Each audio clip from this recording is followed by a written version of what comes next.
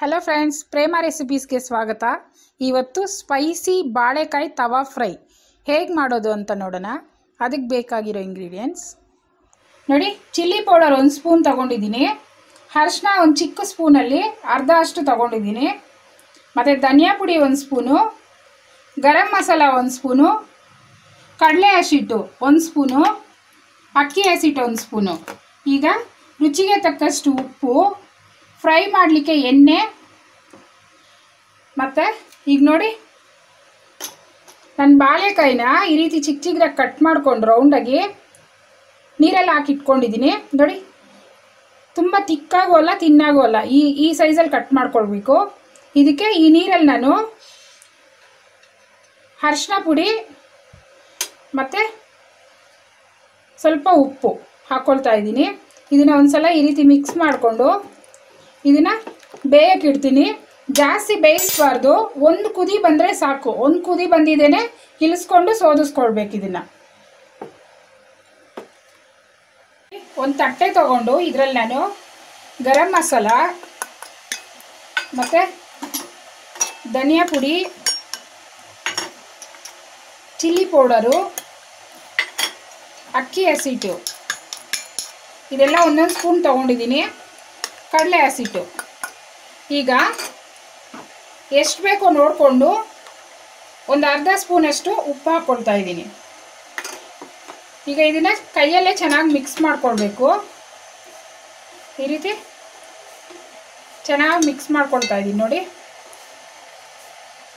Chilli powder ಹಸಿಟ್ಟುಗಳೆಲ್ಲ ಚೆನ್ನಾಗಿ mix ಆಗಬೇಕು.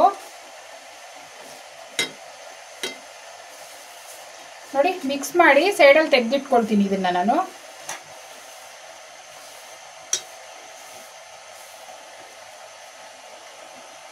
ನೋಡಿ, ಈಗ ನಾನು ಬೇಯಿಸಿ ಇದನ್ನು ಸೋಸ್ ಇಟ್ಕೊಂಡಿದ್ದೀನಿ ನೋಡಿ, ಈ ರೀತಿ ಅಂದರೆ ಸ್ವಲ್ಪ ಗಟ್ಟಿನೇ ಇರಬೇಕು, ಸ್ವಲ್ಪ ಸಾಫ್ಟ್ ಆಗಿರ್ಬೇಕು. ನೋಡಿ, ಈ ರೀತಿ. ಈಗ ಇದನ್ನು ಈ ಪೌಡ್ರ್ ಮಾಡಿ ಇಟ್ಕೊಂಡಿದ್ವಲ್ಲ, ಅದರಲ್ಲಿ ಈ ರೀತಿ ಡಿಪ್ ಮಾಡಿ, ನೋಡಿ, ಚೆನ್ನಾಗಿ ಈ ರೀತಿ ಡಿಪ್ ಮಾಡ್ಕೊಳ್ಳಿ. ಅದರಲ್ಲಿ ನೀರಿರುತ್ತಲ್ಲ ಸ್ವಲ್ಪ, ಅದಕ್ಕೆ ಅಂಟ್ಕೊಳ್ಳುತ್ತೆ ನೋಡಿ, ಈ ರೀತಿ. ಡಿಪ್ ಮಾಡಿ ಸೈಡಲ್ಲಿ ಇಟ್ಕೊಳ್ತೀನಿ. ನೋಡಿ, ಎಲ್ಲ ಈ ರೀತಿ ಮಾಡಿಟ್ಕೊಳ್ಳಿ ಡಿ, ನೀವು ಡೀಪ್ ಫ್ರೈ ಮಾಡೋದಕ್ಕಿಂತ ಈ ರೀತಿ ಮಾಡಿದ್ರೆ ಟೇಸ್ಟ್ ಚೆನ್ನಾಗಿರುತ್ತೆ. ನೀವು ಬೇಳೆ ಸಾರು ಅನ್ನ ಮತ್ತು ರಸ ಅನ್ನ ಮಾಡಿದಾಗೆಲ್ಲ ಇದನ್ನ ಮಾಡಿಕೊಂಡ್ರೆ ಒಳ್ಳೆ ಟೇಸ್ಟ್ ಇರುತ್ತೆ ನಂಚ್ಕೊಳ್ಳೋಕೆ ಚೆನ್ನಾಗಿರುತ್ತೆ. ನೋಡಿ, ಈ ರೀತಿ. ಸ್ವಲ್ಪ ಬಿಸಿ ಇರೋವಾಗೆ ಇದು ಮಾಡ್ಕೊಳ್ಳಿ, ಅಂಟ್ಕೊಳ್ಳುತ್ತೆ ಅವಾಗ. ಈ ರೀತಿ ಎಲ್ಲ ಮಾಡಿಟ್ಕೊಳ್ತೀನಿ. ನಾನು ಡಿಪ್ ಮಾಡಿ ಇಟ್ಕೊಂಡಿದ್ದೀನಿ. ಈಗ ಇದೇನಾದರೂ ನಿಮ್ಮ ಪೌಡ್ರ್ ಏನಾದರೂ ಮಿಕ್ಕಿತ್ತು ಅಂದರೆ ನೀವು ಆ ಪೌಡ್ರನ್ನ ಹಾಗೆ ತೆಗೆದಿಟ್ಕೊಂಡು ಇನ್ನೊಂದ್ಸಲ ಯೂಸ್ ಮಾಡ್ಕೊಳ್ಬೋದು. ನನಗೆ ಮಿಕ್ಕಿಲ್ಲ, ಇದಕ್ಕೆಲ್ಲ ಸರಿ ಹೋಯ್ತು. ಈಗ ಇದನ್ನು ಫ್ರೈ ಮಾಡೋದು ಹೇಗೆ ಅಂತ ನೋಡೋಣ. ನೋಡಿ, ಸ್ಟವ್ ಮೇಲೆ ಒಂದು ಪ್ಯಾನ್ ಇಟ್ಕೊಂಡಿದ್ದೀನಿ. ನಾನು ಸ್ಟವ್ನ ಸಿಮ್ಮಲ್ಲಿ ಇಟ್ಕೊಂಡಿದ್ದೀನಿ.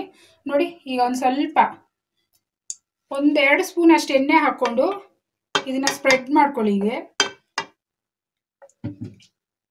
ಇದ್ರ ಮೇಲೆ ಒಂದೊಂದಾಗಿ ಜೋಡಿಸ್ಕೊಳ್ತಾ ಇದ್ದೀನಿ.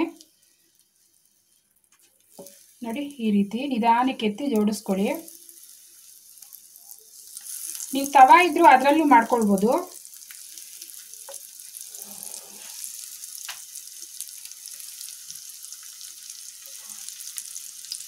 ತುಂಬಾ ಟೇಸ್ಟಿಯಾಗಿರುತ್ತೆ ಇದು. ಬೇಗ ಮಾಡ್ಬೋದು.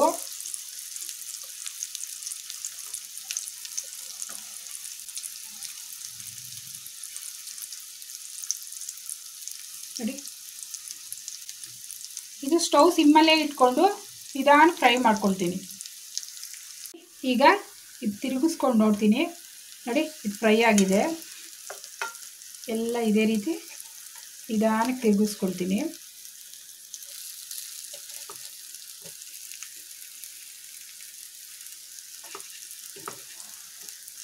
ಸಿಮ್ಮಲ್ಲೇ ಫ್ರೈ ಮಾಡ್ಕೊಳ್ಬೇಕು ಇಲ್ಲಾಂದರೆ ಸೀದೋಗುತ್ತೆ.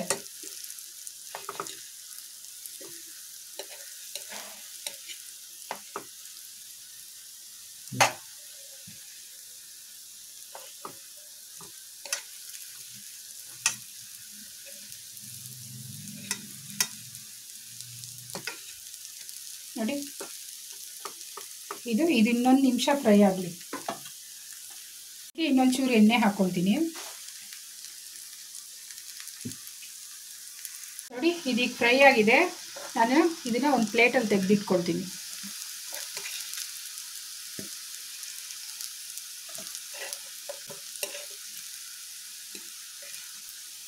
ಈಗ ಇನ್ನೊಂದ್ಸಲ ಹಾಕ್ಕೊಳ್ಳೋವಾಗ ಒಂದು ಪೇಪರು ಅಥವಾ ಬಟ್ಟೆನೋ ತಗೊಂಡು ಇದು ನೀಟಾಗಿ ಒರೆಸ್ಕೊಂಡ್ಬಿಡಿ. ಇಲ್ಲಾಂದರೆ ಸೀದೋಗುತ್ತೆ. ಇನ್ನೊಂದ್ಸಲ ಹಾಕ್ಕೊಳ್ಳೋವಾಗ ಈ ರೀತಿ ನೀಟಾಗಿ ಒರೆಸ್ಕೊಳ್ಳಿ. ಈಗ ಇನ್ನೊಂಚೂರು ಎಣ್ಣೆ ಹಾಕ್ಕೊಳ್ತೀನಿ ನೋಡಿ. ಈಗ ಮತ್ತೆ ಒಂದೊಂದೇ ಜೋಡಿಸ್ಕೊಳ್ತೀನಿ. ಆಮೇಲೆ ಇನ್ನೊಂದು ಸ್ಪೂನ್ ಎಣ್ಣೆ ಹಾಕ್ಕೊಳ್ತೀನಿ ಈಗ ಇದನ್ನ ಒಂದೆರಡು ನಿಮಿಷ ಬಿಡ್ತೀನಿ ಹೀಗೇನೆ. ನೋಡಿ, ನಾನು ಸರ್ವ್ ಮಾಡ್ಕೊಂಡಿದ್ದೀನಿ.